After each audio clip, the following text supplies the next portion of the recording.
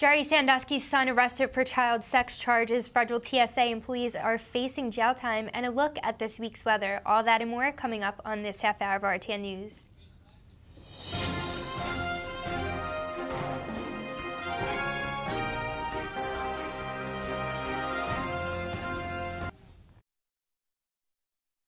New episode of RTN News. I'm Summer Shiki. And I'm Sean Kelly. And now let's get started with some local news. Ready, Jerry Sandusky's son was arrested on child on charges for child sexual abuse on Monday. Jeffrey Sandusky, son of former Penn State assistant football coach, was arrested and charged with 14 felony counts involving two young girls. The alleged cases happened in 2013 and 2016 through text messaging. The 41-year-old is being held on a $200,000 bail and is prohibited from con any contact with minors. Just a little over five years ago, Sandusky's father was convicted of sexually abusing 10 boys and was sentenced to at least 30 years in prison. Two residents of Clayton have just been arrested this past Wednesday for the possession of 163 bags of heroin found in their North Broad Street house. In addition to the bags of heroin, police have also found Suboxone pills, marijuana, and other drug paraphernalia in the home. Willis L. Cooper and Sunside Jarrell were both arrested on counts of drug possession and distribution after police finally put a search warrant on the house after over a month of investigating. A car submerged in a partially frozen New Jersey lake on Sunday morning. 23-year-old Fatuma Kamara's car slid off the road into a pond in Goffle Brook Park. 50-year-old Don McWan saw the whole incident happen and jumped into freezing water to help. All others also stopped to lend a hand. A Hawthorne police officer was finally able to break the car window with his baton and pulled Kamara out. She was then taken to the hospital and released an hour later with no injuries. Want a great place to let your vegetables thrive? Then get excited for a new community garden opening up in Deptford. The township purchased Andelow Farms, a well-known vegetable farm in the area, last year and are excited to finally make it a community garden where residents can plant and harvest vegetables. The land was originally set aside to build new homes, but after talks of preserving, Mayor Paul Menendee says we can finally use the land for what it's always been, farmland. The community garden has 40 individual plots, each 30 foot by 30 foot, and will allow families to learn how to farm and give them the opportunity to grow their own vegetables. And now we have Jashanti Pittman giving us the weather. Thank you. Today is mostly cloudy with a high 46 and low 35. Tomorrow will remain mostly cloudy with a high 49 and low 28. On Thursday, make sure you bundle up because it will be very windy with a high 39 and low 25. The weekend is looking pretty bright, starting with Friday with a high of 44 and low 29. The temperature will continue to rise just a little bit with, on Saturday with a high 56 and low 40. On Sunday, it will be mostly cloudy while the, while the temperatures continue to rise with a high 63 and low 39. How are you guys holding up with the weather? It's good. So far, so good. I mean, this weather feels kind of like springtime. So this weekend we're gonna like have 60 degrees on Sunday. Yeah, That's I'm crazy. excited. I'm so glad, like you know, like that one little bit of day of snow. Like I hope that's it. I, I hope, hope like we just go into spring now. it's over now. Get ready for spring. It's coming. I'm excited. Me too. Well, thank you, Jashanti. We'll be right back after this break.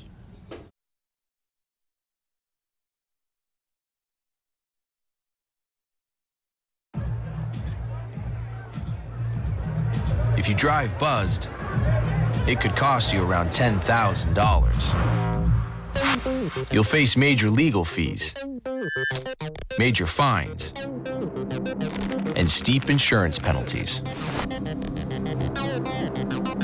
You could lose everything. Buzzed, busted, and broke. Because buzz driving is drunk driving. There's one thing you can never have sex without. It's not something you buy. Or something you take. In fact, there's only one way to get it. It has to be given to you, freely. It's consent. Because sex without it isn't sex. It's rape. Consent. If you don't get it, you don't get it. It's on us to stop sexual assault. Learn how and take the pledge at itsonus.org.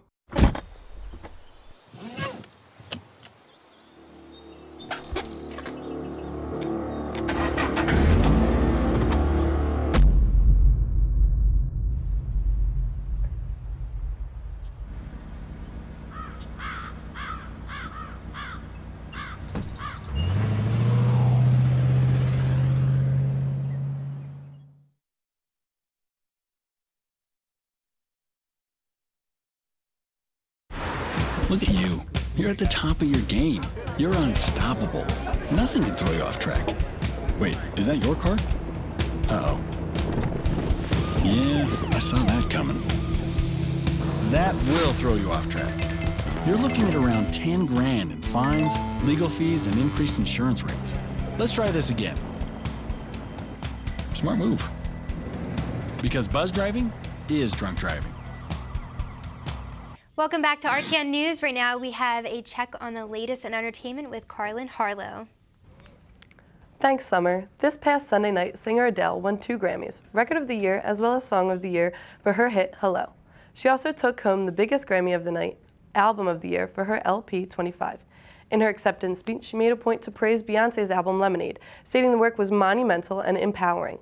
Lemonade won two Grammys out of nine nominations. Adele also performed a tribute to late singer George Michael at the award ceremony.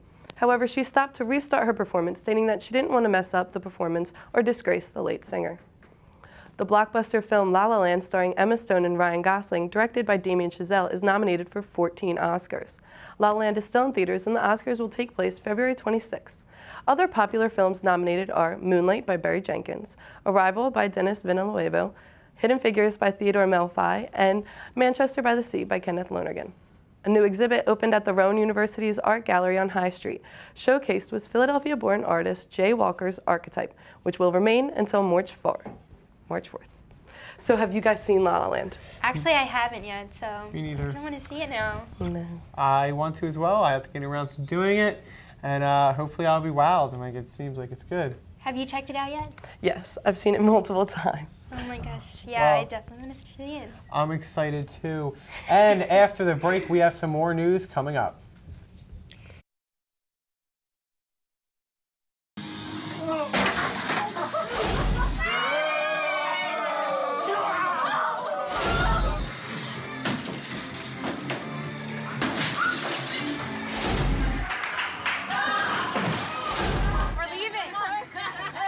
Party fouls are pretty dumb.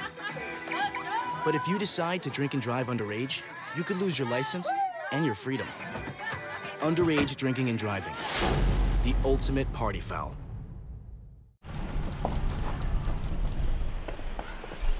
Got a quarter?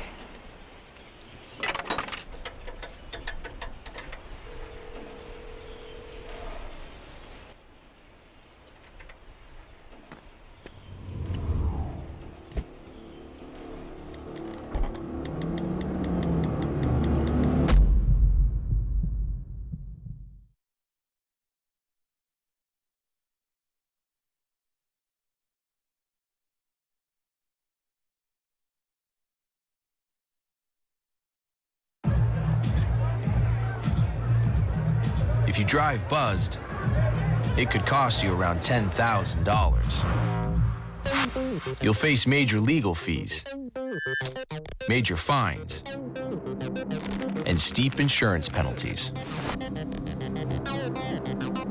You could lose everything. Buzzed, busted, and broke because buzz driving is drunk driving. There's one thing you can never have sex without. It's not something you buy. Or something you take. In fact, there's only one way to get it. It has to be given to you freely. It's consent. Because sex without it isn't sex. It's rape. Consent. If you don't get it, you don't get it. It's on us to stop sexual assault. Learn how and take the pledge at itsonus.org. About 17 employees in total either quit or filed for early retirement at the James T. Vaughn Correctional Center in Wellington, Delaware, after a raid killed a fellow employee on February 1st. A total of eight officers have just quit, while six more have filed for early retirement to leave the correctional facility. We don't have enough staff and people don't feel safe coming to work, says Jeff Klopp, president of the Correctional Officers Association of Delaware Union. With two other neighboring facilities quitting, the Correctional Center has no other choice to rely on rookie officers for the time being. But that comes with its own problems, with statistics showing that 57% of new hires quit within their first three years.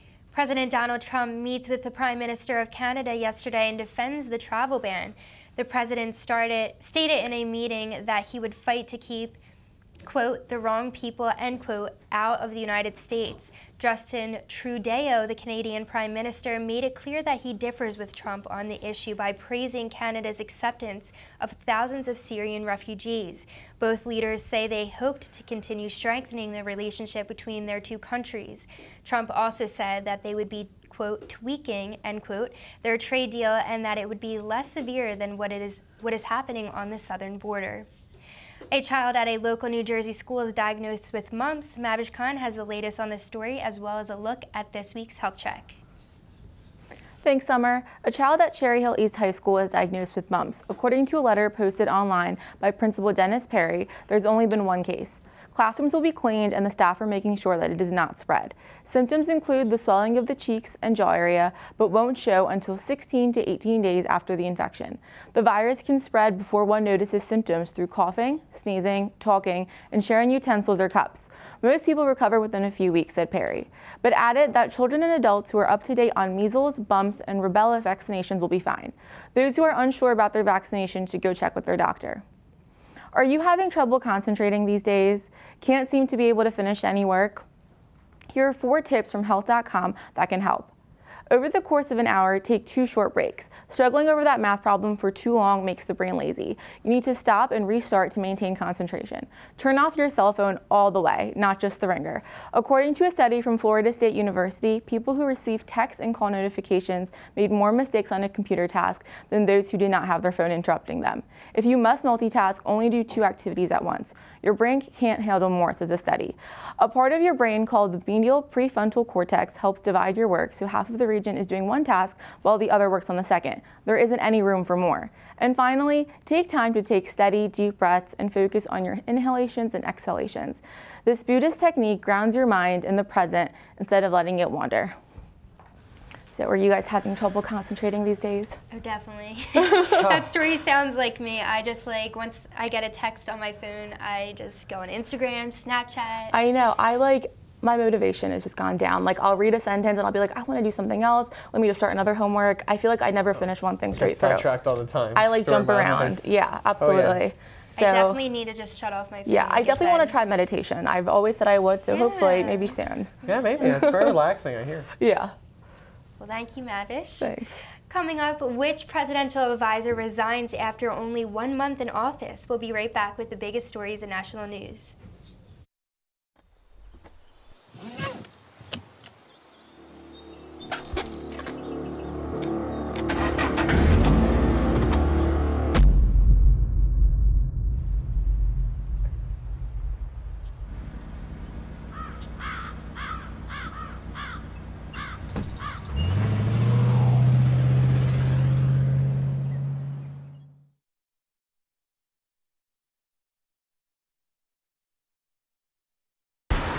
Look at you. You're at the top of your game. You're unstoppable. Nothing can throw you off track. Wait, is that your car? Uh-oh. Yeah, I saw that coming. That will throw you off track.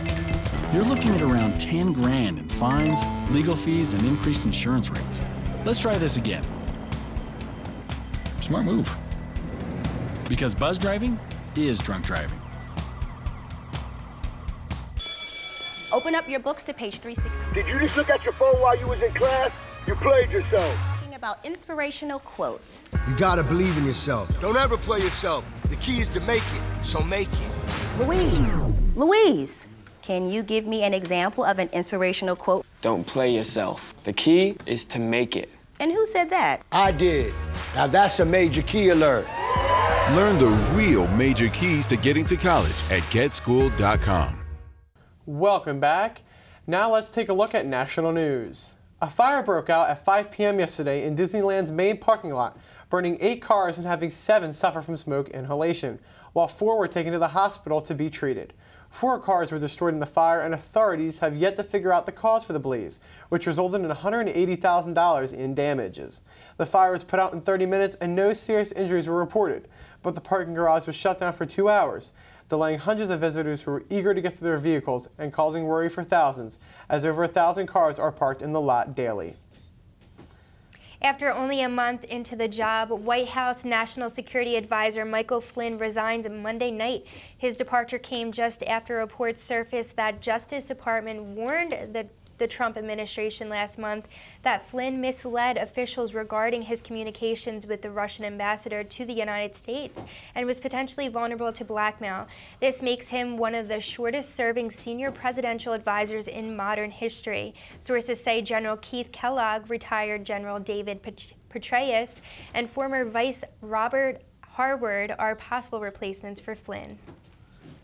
Federal TSA employees are facing up to 10 years to life after smuggling over $100 million worth of cocaine from Puerto Rico to the U.S. over an 18-year period. TSA baggage claimers and screen checkers were charged with possession and an attempt to distribute the drugs. Over 20 tons of cocaine were smuggled into the U.S. during this period, with TSA employees overlooking the suitcases and passing them through inspections and into the baggage claim, without alerting canine units or authorities.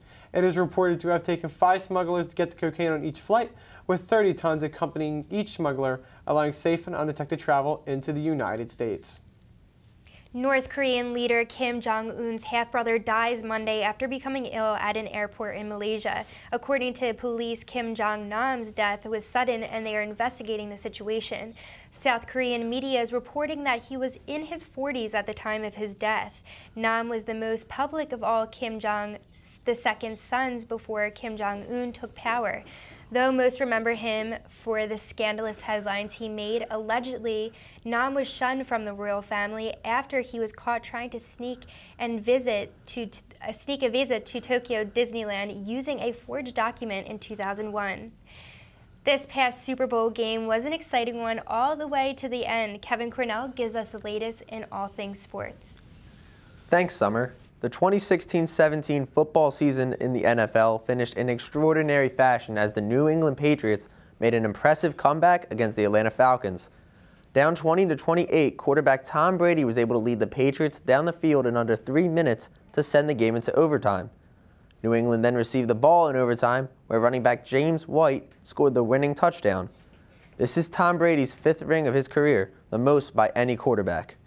With football season over, basketball season season enters full swing as we approach the halfway mark of the season with the All-Star game. There were more than a few notable snubs from this year's game, including, including centers Joel Embiid and Rudy Gobert, among point guards Chris Paul, Damian Lillard, and Mike Conley.